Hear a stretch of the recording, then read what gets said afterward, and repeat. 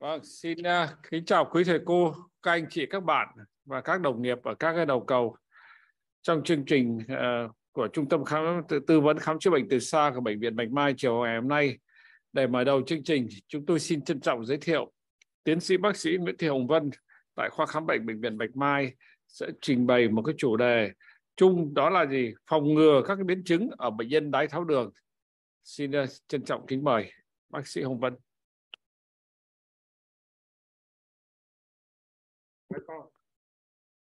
Kính thưa giáo sư tiến sĩ Nguyễn Gia Bình, à, kính thưa quý đồng nghiệp, à, hôm nay tôi vinh dự được cái trình bày một cái chủ đề chung về phòng ngừa biến chứng ở bệnh nhân đái tháo đường. À, thưa quý đồng nghiệp, chắc hẳn trong quá trình thực hành lâm sàng, các đồng nghiệp thường xuyên gặp phải những cái bệnh nhân có bệnh đái tháo đường hoặc là tiền đái tháo đường, thậm chí là không phải là bệnh nhân là những người nhà bệnh nhân đi kèm theo, hoặc là những cái trường hợp mà người nhà đã có bệnh đái tháo đường, đều rất quan tâm đến vấn đề là bệnh đái tháo đường và phòng ngừa biến chứng đái tháo đường như thế nào. Thường xuyên các câu hỏi của đồng nghiệp cũng như của tôi cũng được các cái người quan tâm hỏi đến, đấy là vấn đề là điều trị biến chứng ở bệnh nhân đái tháo đường như thế nào trong quá trình thực hành lâm sàng, tôi thường xuyên nhìn thấy bệnh nhân có những cái đơn thuốc và kể cho tôi nghe là bệnh nhân đã tiêu tốn rất là nhiều tiền để mua những cái thuốc để điều trị phòng ngừa đái tháo đường. Vậy thì cái, những cái thuốc để điều trị phòng ngừa đái tháo đường đấy là gì? Biến chứng của bệnh đái tháo đường tại sao lại nhiều thế và những cái biến chứng đấy là gì? Thì chúng ta sẽ cùng nhìn lại cái bệnh đái tháo đường. Chúng ta biết đái tháo đường là một bệnh do rối loạn chuyển hóa glucid, do tình trạng giảm tiết insulin hoặc là do tình trạng đề kháng insulin. Chính vì cái tình trạng đường máu tăng cao kéo dài nên là gây ra biến chứng ở rất nhiều các cơ quan mạch máu và thần kinh. Những cái tổn thương kéo dài làm cho các cái biến chứng ở bệnh lý về mạch máu lớn cũng như ở bệnh lý ở mạch máu nhỏ gây ra những cái trường hợp các biến chứng cấp tính và các biến chứng mạnh mạn tính. Các biến chứng cấp tính làm cho bệnh nhân cần phải nhập viện ngay. Đấy là những cái trường hợp mà đường máu tăng cao quá mức hoặc những cái trường hợp đường máu xuống quá mức cũng đều gây ra cái tình trạng bệnh nhân nguy hiểm đến tính mạng thậm chí là gây ra tình trạng hôn mê. À, tăng áp lực thẩm thấu hay là nhiễm toan ceton là những cái biến chứng cấp tính mà những cái bác sĩ ở chuyên khoa cấp cứu ờ, điều trị tích cực thường xuyên phải đối mặt phải. Đấy là nguyên nhân do tình trạng đường máu tăng cao kèm theo có rối loạn nước điện giải. Những cái trường hợp bệnh nhân này thì trước đây chúng ta gặp rất là nhiều nhưng ngày nay với cái việc mà bệnh nhân được khám bệnh Ờ, đầy đủ hơn cái kiến thức được nâng cao hơn thì cái tỷ lệ bệnh nhân bị tăng áp lực thẩm thấu hay là nhiễm toan ceton quả thật là có có giảm đi. Tuy nhiên vẫn có những cái trường hợp bệnh nhân ờ, uh, chuẩn đoán muộn hoặc là có những cái trường hợp bệnh nhân đã biết bị bệnh đái tháo đường nhưng vẫn bỏ thuốc không điều trị hoặc là khi bệnh nhân vẫn đang điều trị bình thường nhưng bệnh nhân lại có kèm theo những cái tình trạng bệnh lý cấp tính khác. Ví dụ như bệnh nhân bị nhiễm trùng cấp tính bị tiêu chảy mất nước hay bị tai biến mạch máu não. Đấy là những cái tình trạng bệnh nhân bị mất bù cấp tính dẫn đến cái tình trạng đường máu tăng rất là cao. Bệnh nhân sẽ rơi vào cái tình trạng hôn mê mà cần phải cấp cứu. Những cái trường hợp nhiễm toan ceton hay gặp do trường hợp do tai biến điều trị hoặc không theo dõi điều trị tích cực. Ngược lại với cái tình trạng đường máu tăng quá cao thì cái đường máu bị hạ quá thấp lại là một cái tình trạng bệnh lý rất thường gặp ở những bệnh nhân đái tháo đường nguyên nhân bị hạ đường huyết thì có rất nhiều các cái nguyên nhân. Cái nguyên nhân thường gặp nhất đấy là cái do cái vấn đề là sai lầm trong quá trình điều trị, hoặc là do chế độ ăn uống của bệnh nhân, hoặc là bệnh nhân vận động quá mức. Các biểu hiện lâm sàng của những cái trường hợp bệnh nhân bị hạ đường huyết thì nó rất là thay đổi giữa các cái bệnh nhân khác nhau và giữa cùng một bệnh nhân ở nhiều thời điểm khác nhau, cũng có những cái triệu chứng khác nhau. Những cái trường hợp bệnh nhân mà có những cái dấu hiệu cảnh báo, ví dụ như biểu hiện là người tự dưng thấy mệt lạ tay chân thì thấy run, vã mồ hôi, bệnh nhân thấy lo lắng, căng thẳng, chóng mặt, hoa mắt ờ, tim đập nhanh, mắt nhìn mờ, mệt mỏi, buồn rùn, tay chân hay đau đầu hoặc thậm chí là thay đổi tính tình, mất ý thức. Các cái biểu hiện hạ đường huyết này nó rất là dao động và nó rất khác nhau ở những cái bệnh nhân khác nhau. Với những cái trường hợp mà có những cái biểu hiện ví dụ như tôi vừa kể trên, bệnh nhân có thể phát hiện ra và biểu hiện như thế, bệnh nhân nghĩ đến tình trạng là hạ đường huyết, bệnh nhân ăn vào một cái gì đó ngọt hoặc uống một cái cốc nước đường, làm cho cái đường máu nó cao lên, không còn rơi vào cái tình trạng hạ đường huyết nữa, thì bệnh nhân sẽ có thể là giải quyết được cái vấn đề bị hạ đường huyết tại thời điểm đó. Tuy nhiên không phải là bệnh nhân nào cũng có thể là nhận, biết được những cái dấu hiệu đó. Đặc biệt với những cái trường hợp mà bệnh nhân bị đái tháo đường lâu ngày cái phản xạ thần kinh của những cái thần kinh thực vật đó, nó đã bị cùn mòn, bệnh nhân không nhận biết được ra những cái dấu hiệu đó. Ờ, mới hôm qua tôi mới gặp một trường hợp bệnh nhân nói rằng là tôi đang đứng ở ngõ nhà mình. Ờ, con tôi có nói lại là tôi không nhận ra là cái đường về. Đấy là vì là bệnh nhân cái lúc đấy tại thời điểm đấy là tự dưng mất ý thức đi mà bệnh nhân hoàn toàn không có dấu hiệu cảnh báo trước. Đấy cũng là một cái triệu chứng mà hạ đường huyết tháng qua bệnh nhân này sau này. Khi mà theo dõi đường máu liên tục thì phát hiện ra có rất nhiều các cái cơn hạ đường huyết. Vậy với những cái trường hợp bệnh nhân ban ngày thì có thể có triệu chứng như thế, nhưng còn những cái trường hợp bệnh nhân xảy ra triệu chứng hạ đường huyết vào ban đêm khi bệnh nhân đang ngủ thì thật là nguy hiểm. Nhất là những cái trường hợp mà đường máu mà hạ thấp, bệnh nhân không phát hiện ra dẫn đến những cái cơn hạ đường huyết nặng kéo dài và thậm chí những cái bệnh nhân này còn rơi vào cái tình trạng bị hôn mê hoặc là tử vong mà cũng không rõ nguyên nhân. Do vậy với những người mà bị hạ đường huyết ở những cái bệnh nhân đái tháo đường thì cần phải có những cái kiến thức về hạ đường huyết để có thể là phòng ngừa để bảo vệ cho bản thân mình. Còn những người trong gia đình có người mắc bệnh đái tháo đường thì cũng cần phải hiểu biết về bệnh đái tháo đường cũng như các cái biến chứng của bệnh đái tháo đường, xử lý sơ cứu tại nhà để có thể tránh cho người thân của mình vào những cái tình huống mà không mong muốn. Chúng ta biết rằng là bệnh đái tháo đường là bệnh của biến chứng. Tại sao như vậy? Vì đường máu tăng cao nó sẽ không những chỉ có xảy ra các biến chứng cấp tính, ví dụ như là tăng quá mức gây ra cái tình trạng như tôi vừa trình bày đấy là trường hợp mà bệnh nhân bị hôn mê tăng áp lực thẩm thấu hay là hôn mê nhiễm toan tôn hay là hôn mê do hạ đường huyết.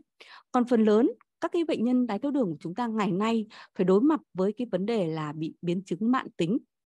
Vậy biến chứng mạn tính là gì và tại sao chúng ta lại phải quan tâm đến thế? Có rất nhiều các cái biến chứng mạn tính ở bệnh nhân đái tháo đường. Các cái biến chứng vi mạch vi mạch đặc hiệu như là ở mặt mắt ở thận biến chứng thần kinh. Các cái biến chứng đại mạch mạch máu lớn ấy, như là động mạch vành suy tim bệnh đặc động mạch ngoại vi chi dưới hay là đột quỵ não. Còn có một phần nữa mà không phân loại vào biến chứng mạch máu lớn hay mạch máu nhỏ. Đấy là những cái biến chứng do sa sút trí tuệ bị trầm cảm hay là gan nhiễm mỡ không ra rượu. Như vậy bệnh nhân đái tháo đường chúng ta vô cùng nhiều biến chứng. Vậy làm thế nào để chúng ta biết rằng là các cái biến chứng đó để mà có thể kiểm soát tốt được không bị các cái biến chứng mạn tính của bệnh nhân đái tháo đường. Các biến chứng mạn tính ở mạch máu lớn của đái tháo đường thì có những cái bệnh lý do các cái hẹp động mạch vành, hẹp động mạch ở chi dưới, ờ, hẹp động mạch não sẽ dẫn đến tình trạng mà biến chứng mạn tính. Chúng ta biết rằng bệnh động mạch vành là cái nguyên nhân mà gây ra rất là nhiều những cái biến cố trên tim mạch của bệnh nhân đái tháo đường. Với những cái trường hợp mà bệnh nhân đái tháo đường không triệu chứng chúng ta khảo sát thì sẽ có tới đến 25% bệnh nhân có bệnh mạch vành. Những cái bệnh nhân bị suy tim ở những cái đối tượng bệnh nhân đái đường chiếm tỷ lệ tăng gấp đôi so với những người không bị đái tháo đường. Còn bệnh mạch chi dưới thì tăng từ 2 đến 4 lần, tùy theo cái nghiên cứu. Đột quỵ ở cái nhóm bệnh nhân đái tháo đường cũng tăng gấp đôi so với cả cái dân số chung. Như vậy thì chúng ta thấy rằng là trên một cái đối tượng bệnh nhân đái tháo đường thì cái biến chứng mạch máu lớn là cái biến chứng mà gây ra rất là nhiều và làm trầm trọng cái cuộc sống của bệnh nhân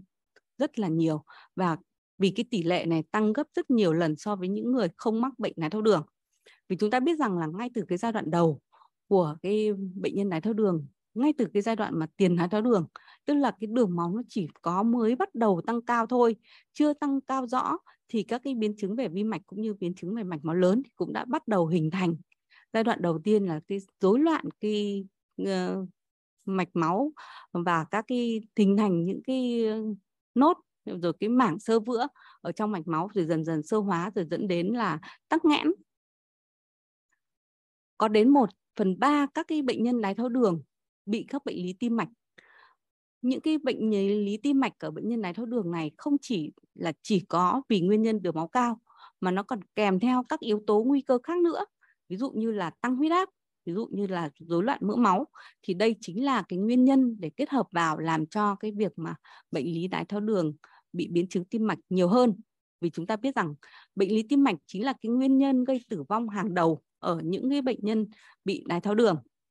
vì vậy, với những người bị đái tháo đường rồi, chúng ta phải tầm soát các yếu tố nguy cơ để ngăn ngừa cái việc mà bệnh nhân bị các cái biến chứng về tim mạch. Đặc biệt với những cái đối tượng có yếu tố nguy cơ cao, ví dụ như thừa cân, béo phì, tăng huyết áp, rối loạn lipid máu, chúng ta cần phải khai thác rõ tiền sử bệnh tim mạch của gia đình, ờ, tiền sử bị bệnh thận mạng hoặc là có sự xuất hiện của pin niệu ở giai đoạn sớm. Phải tìm hiểu xem bệnh nhân có thói quen hút thuốc hay không vì đó cũng là những yếu tố nguy cơ làm trầm trọng hơn bệnh lý tim mạch ở bệnh nhân đái tháo đường về khuyến cáo thì chúng ta nên làm cái đơn giản nhất mà có thể làm ở tất cả các cái nơi ờ, đấy là có thể là làm điện tim đồ cứ mỗi 3 đến 5 năm đối với các những cái trường hợp bệnh nhân đái tháo đường trên 40 tuổi hoặc là những cái trường hợp mà đái tháo đường trên 40 tuổi có ý định mà luyện tập thể dục gắng sức. Thời gian đái đường trên 15 năm hoặc cái tuổi trên 30 có ít nhất một yếu tố nguy cơ tim mạch, hay là những cái trường hợp bệnh nhân đã có cái tổn thương cầu đích về cái biến chứng mạch nhỏ hay là biến chứng về tim mạch, thì chúng ta cần phải khảo sát tốt những cái yếu tố nguy cơ. Trong cái nghiên cứu Steno 2 chúng ta đã được nghe rất là nhiều lần. Đây là một cái nghiên cứu rất là nổi tiếng về vấn đề kiểm soát đa yếu tố nguy cơ ở bệnh nhân đái tháo đường để giảm thiểu các cái biến chứng không mong muốn ở bệnh nhân đái tháo đường kiểm soát tốt các yếu tố nguy cơ này thì có thể là giảm các biến cố về bệnh lý tim mạch. Như vậy thì chúng ta thấy rằng ngoài việc kiểm soát đường máu, chúng ta phải kiểm soát tốt mỡ máu, kiểm soát tốt huyết áp, kiểm soát yếu tố đông máu và tăng vấn đề vận động thể dục của bệnh nhân lên. Thì có như vậy thì chúng ta mới có thể là phòng ngừa các cái tai biến tim mạch của bệnh nhân. Trường hợp bệnh nhân bị bệnh động mạch vành là cái trường hợp bệnh nhân rất là hay gặp ở bệnh nhân đái tháo đường bệnh động mạch vành của bệnh nhân thì nó có rất nhiều các cái mức độ khác nhau, từ cái mức độ là cơn đau thắt ngực nặng hơn, nhồi máu cơ tim, suy tim hoặc thậm chí là bệnh nhân là đột tử. Bệnh động mạch vành chính là cái nguyên nhân mà gây ra tỷ lệ bệnh tật và tử vong, cũng như tăng chi phí điều trị ở bệnh nhân đái tháo đường. Các cái biểu hiện của bệnh mạch vành thì có rất nhiều các cái dấu hiệu những cái dấu hiệu điển hình mà chúng ta thường được học từ xưa đến nay ví dụ như là bệnh nhân thấy đau thắt ở vùng ngực lan lên cổ lên vai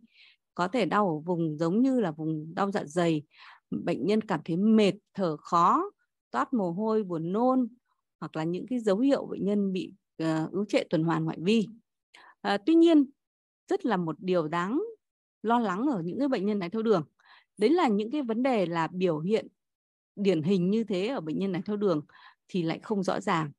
mà những cái trường hợp bệnh nhân bị đái tháo đường, các cái biểu hiện nó lại mơ hồ và nó không điển hình, dẫn đến cái việc mà chúng ta chuẩn đoán muộn và chúng ta bỏ sót những cái trường hợp bệnh nhân bị đái tháo đường có bệnh lý bệnh mạch vành. Về mặt khuyến cáo, để tầm soát thì những cái trường hợp mà bệnh nhân có đái tháo đường thì cũng hiện tại thì người ta cũng không khuyến cáo là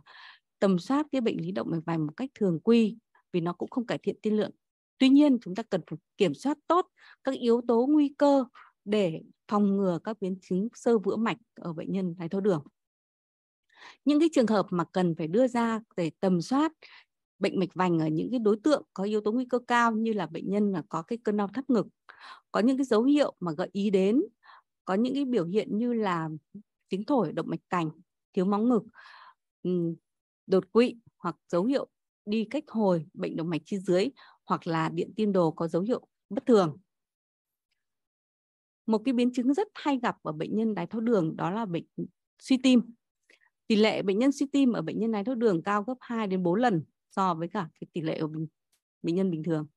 À, chúng ta có thể gặp cái những cái biến chứng bệnh nhân suy tim rất là nhiều và những cái biểu hiện ban đầu tiên thì thường nó thoáng qua dẫn đến là chúng ta đã bỏ sót những cái đối tượng bệnh nhân này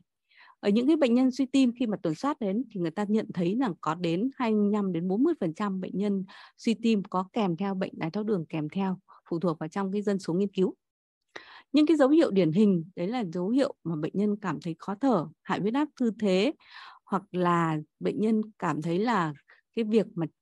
tăng cái thời gian mà cần phải nghỉ ngơi khi bệnh nhân luyện tập gắng sức hoặc là bệnh nhân thì thấy không thể có thể vận động gắng sức quá mức được những cái dấu hiệu điển hình hơn như là phản hồi gan tĩnh mạch cổ hoặc là nghe thấy tiếng tim thứ ba hoặc là cái tiếng thở tiếng thổi tim nó xa xăm những cái dấu hiệu đó của bệnh nhân suy tim khi mà chúng ta đã có rõ rồi thì bệnh nhân đã suy tim đã ở cái giai đoạn rất là muộn rồi. À, hiện tại thì chúng ta cũng vẫn còn đang băn khoăn về cái vấn đề là tầm soát đối với suy tim đối với những cái bệnh nhân mà bị đái tháo đường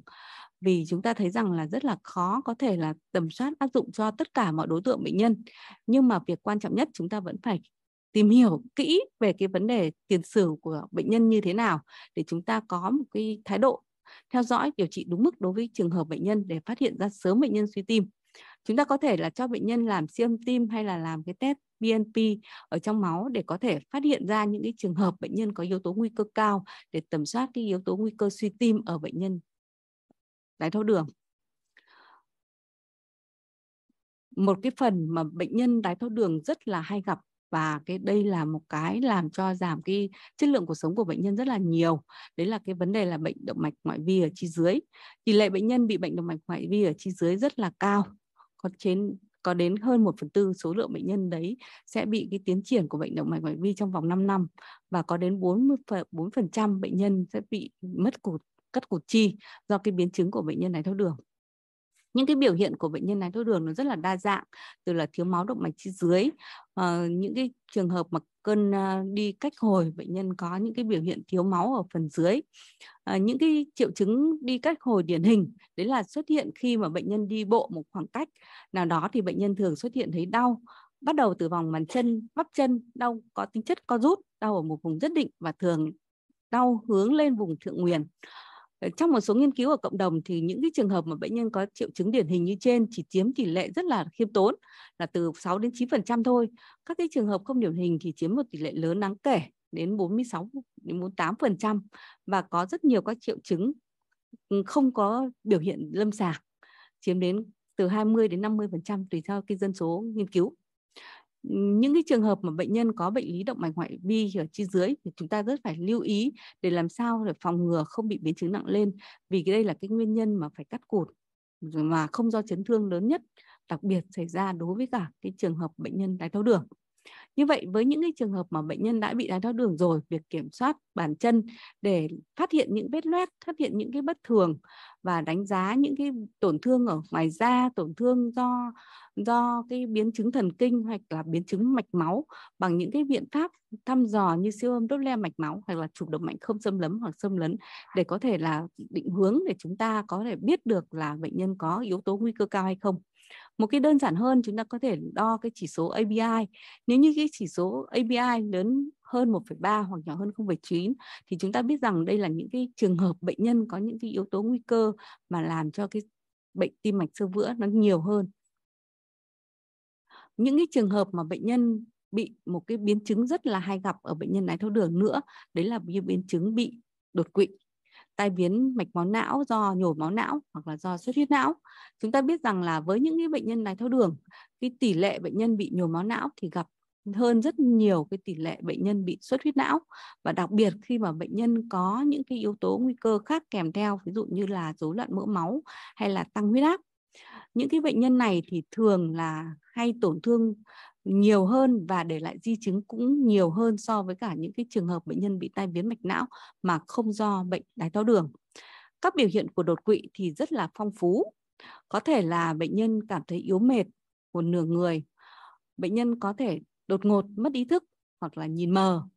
hoặc là nhìn đôi. Bệnh nhân thấy chóng mặt, mất thăng bằng, đi đứng không tự chủ hoặc là bệnh nhân thấy cái biểu hiện đau đầu rất là nhiều.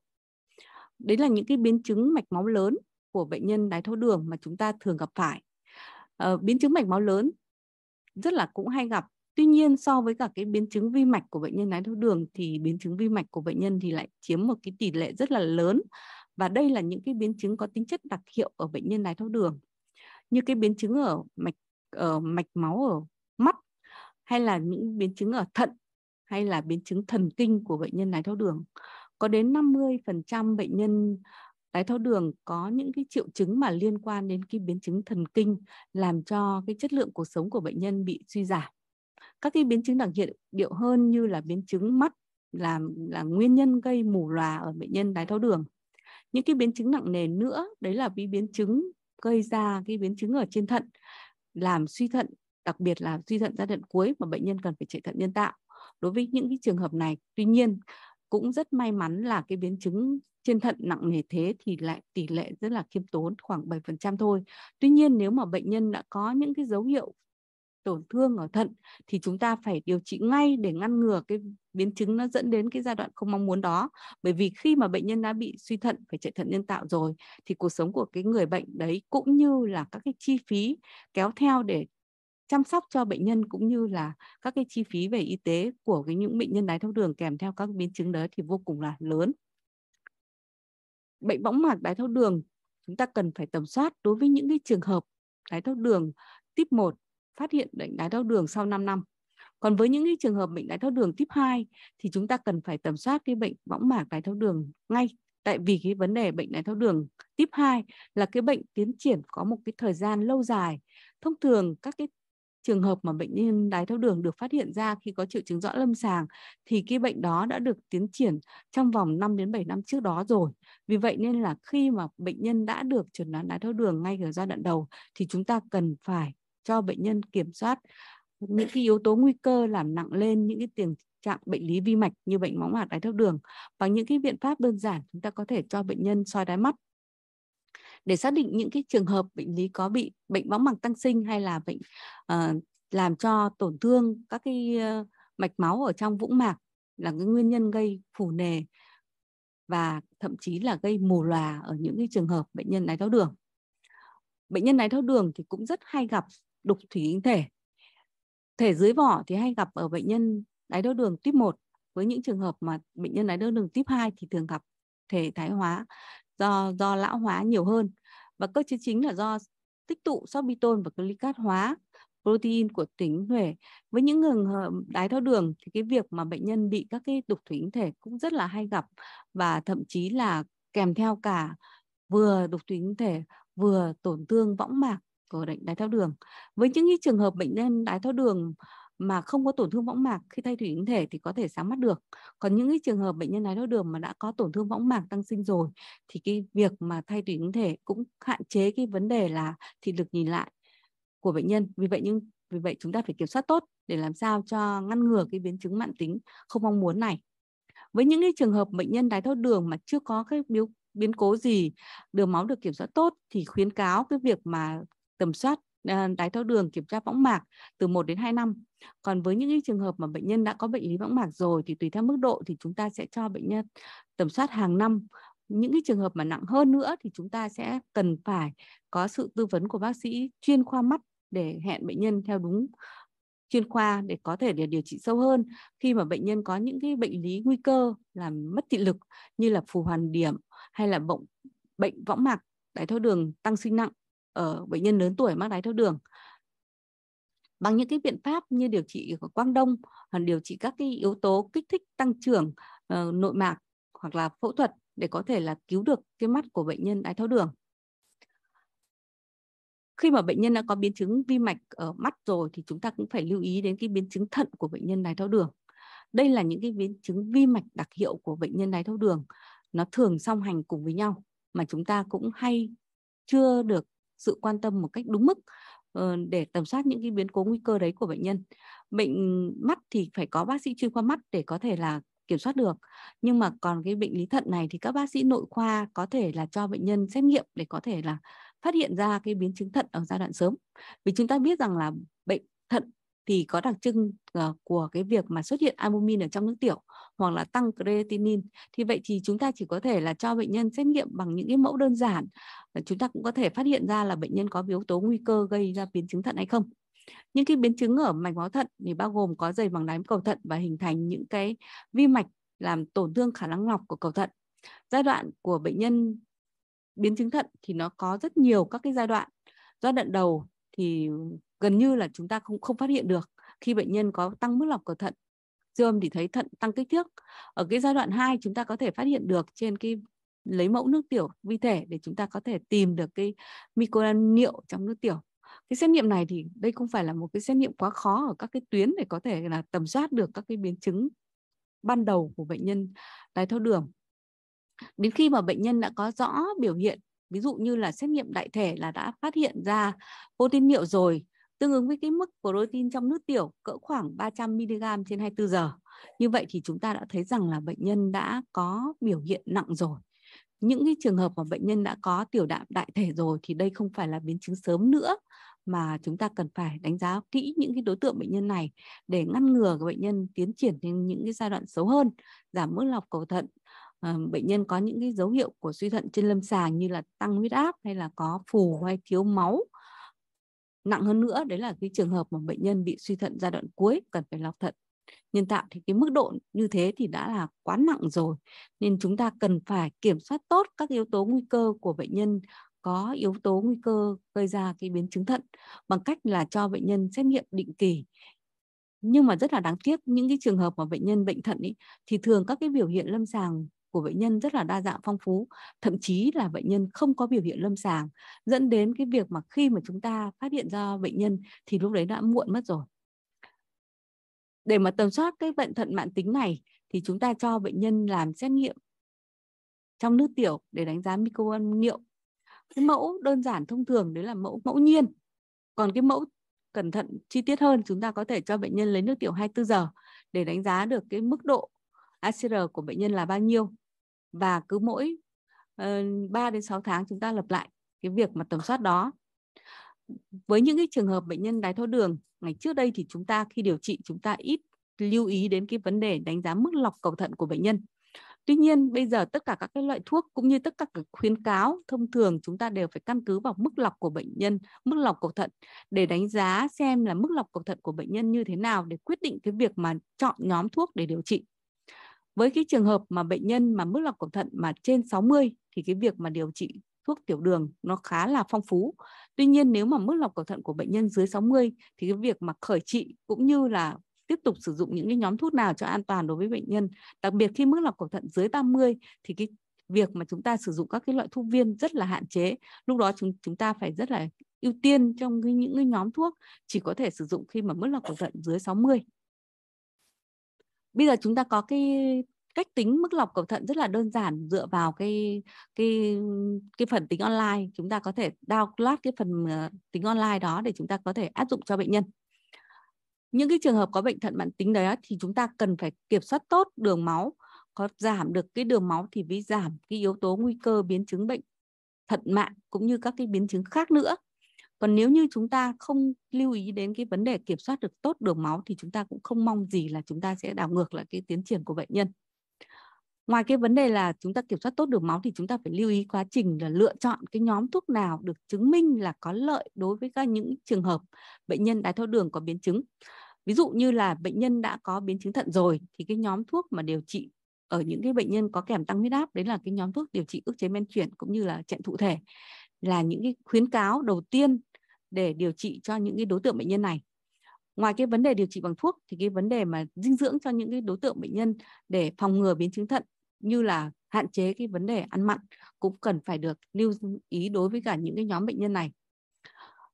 Một cái phần chúng ta học rất nhiều đấy là những cái trường hợp bệnh nhân bị biến chứng thần kinh. Các biến chứng thần kinh do đái tháo đường thì có rất nhiều các cái biểu hiện ví dụ như rối loạn dị cảm bệnh nhân thấy tê buồn châm chích kiến bò rát bỏng thấy đau, đau nhức ở cái vùng chân, đầu ngón chân nó có tính chất nặng vào ban đêm và tăng khi thay đổi thời tiết. Những cái bệnh nhân mà mất cảm giác về nhiệt, về đau, về nóng lạnh, chúng ta cần phải tầm soát bằng cách là khám bằng những cái dung âm thoa hoặc monofilament dùng kim đầu tù và tính các cái yếu tố nguy cơ khác thì chúng ta cũng phải cân nhắc. Những cái trường hợp bệnh lý về thần kinh vận động khu trú, ví dụ như bệnh lý về ờ, thần kinh, rồi các cái vấn đề biến chứng thần kinh tự chủ xuất hiện ở trên những cái cơ, quan khác như về tim mạch về tiêu hóa về sinh dục tiết niệu ví dụ như biểu hiện nhịp tim nhanh khi ngủ hại huyết áp tư thế các cái biểu hiện liệt dạ dày ruột biểu chứng hội chứng ruột kích thích hay là biểu ừ, hiện trên cái việc mà bệnh nhân mà đi tiểu không hết đấy là những cái triệu chứng về cái thần kinh tự chủ của bệnh nhân đái tháo đường thì chúng ta cũng rất là hay gặp những cái đối tượng bệnh nhân ấy này. Vì vậy nên chúng ta cần phải điều trị tốt đối với những cái yếu tố nguy cơ ở bệnh nhân đái tháo đường để có thể là kiểm soát tốt. Các cái yếu tố nguy cơ đó bao gồm có phải kiểm soát được đường máu kiểm soát tốt huyết áp kiểm soát tốt được mỡ máu tăng vận động thể dục lên. À, chúng ta nhớ theo nguyên tắc ADC A là HbA1c là phải dưới 7%, huyết áp thì cần phải dưới 140 trên 90 mm thủy ngân. À, điều trị tốt uh, mỡ máu của bệnh nhân và cái chế độ ăn uống cũng như về, về chế độ vận động là cái vấn đề cực kỳ quan trọng để quản lý các biến chứng của bệnh nhân đái tháo đường. Có rất nhiều các cái nhóm thuốc điều trị đái tháo đường thì ngày nay theo cái guideline hướng dẫn mới nhất chúng ta sẽ phân ra cái nhóm bệnh nhân có yếu tố nguy cơ cao, bệnh tim mạch do sơ vữa hay không để chúng ta sẽ sẽ chọn những cái nhóm thuốc nào được ưu tiên sử dụng khi bệnh nhân có cái biểu hiện của bệnh tim mạch do sơ vữa hoặc suy tim hoặc là có bệnh thận mạng để chúng ta sử dụng với những cái trường hợp bệnh nhân tăng huyết áp thì chúng ta cần phải xác định xem mức độ huyết áp của bệnh nhân bao nhiêu, có biến chứng nguy cơ chronic như là bệnh mạch vành hay là uh, albumin niệu hay không để chúng ta sử dụng. Cái nhóm thuốc được ưu tiên sử dụng đấy là ức chế men chuyển và chạy thụ thể. Với những cái trường hợp bệnh nhân đái tháo đường thì chúng ta cần phải cá thể hóa đưa ra cái mục tiêu điều trị đối với mỗi một bệnh nhân với những cái trường hợp mà thời gian mắc bệnh kéo dài có nhiều bệnh kết hợp kỳ vọng sống ngắn có nhiều các cái biến chứng kèm theo thì cái việc mà điều trị chúng ta không quá chặt chẽ còn với những trường hợp mà bệnh nhân trẻ tuổi mới chẩn đoán đái tháo đường mà có ít các bệnh lý nguy cơ cao thì chúng ta cần phải đưa cái chỉ số HbA1c càng về bình thường dưới 6,5% đối với những cái yếu tố nguy cơ trẻ đấy. Còn nếu như những cái trường hợp mà bệnh nhân mà già có ví dụ như là không tự chăm sóc mình thì chúng ta lại cái HbA1c đã lơi lỏng hơn chứ không bắt buộc là 7%. Ờ, việc mà bệnh nhân kiểm soát bằng các cái máy để theo dõi đường máu hoặc là máy theo dõi đường máu liên tục thì đấy là những cái biện pháp để có thể giúp cho bệnh nhân kiểm soát được đường máu của mình tại nhà tốt hơn. Như vậy thì qua cái phần trình bày tôi muốn nhấn mạnh một chút đấy là những cái trường hợp bệnh nhân đái tháo đường nó sẽ là những cái bệnh mà chúng ta phải đối mặt tới trong tương lai vì số lượng bệnh nhân đái tháo đường ngày càng tăng lên. Đây là bệnh mạng tính và chúng ta cần phải có một cái kế hoạch điều trị cho bệnh nhân để phòng ngừa các cái biến chứng không mong muốn ngay từ giai đoạn sớm cũng như là khi mà bệnh nhân đã biến chứng rồi thì chúng ta cần phải kiểm soát tốt các đa yếu tố nguy cơ để làm giảm thiểu các yếu tố mà làm nặng bệnh lên và gây biến chứng nặng nề ở bệnh nhân đái tháo đường. Xin cảm ơn quý đồng nghiệp ạ. Vâng, xin à, cảm ơn tiến sĩ bác sĩ Nguyễn Thị Hồng Vân. Trong khuôn khổ ngày hôm nay vì thời gian có hạn thì bác sĩ Vân trình bày một cách rất rất là tổng quan một số các biến chứng của bệnh đái tháo đường.